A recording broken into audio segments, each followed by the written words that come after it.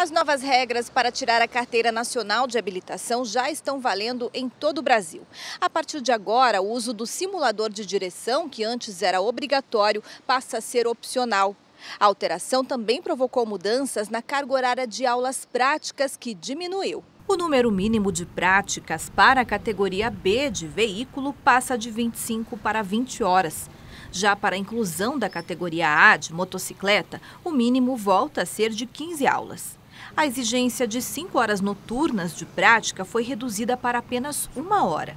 Para este proprietário de autoescola, as mudanças vão ter impacto positivo. Vai é, beneficiar o prazo da conclusão da carteira, é, a diminuição das aulas noturnas de cinco aulas para uma aula, o que vai desatolar muito né, as agendas e diminuir um gargalo que as autoescolas enfrentavam para o agendamento das aulas.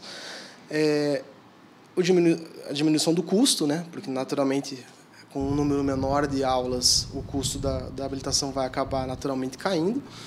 E praticidade para todos, né? ganha a autoescola, ganha o aluno, a estimativa é de que o custo fique cerca de 15% mais baixo. Segundo o coordenador de habilitação do Detran do Paraná, as alterações valem também para os alunos que já deram entrada no processo da CNH antes do dia 16 de setembro, quando a nova lei entrou em vigor e aqueles que quiserem podem continuar com algumas aulas no simulador. A gente entende como sendo uma vantagem, principalmente para aquela pessoa que nunca teve um contato mais próximo com o veículo.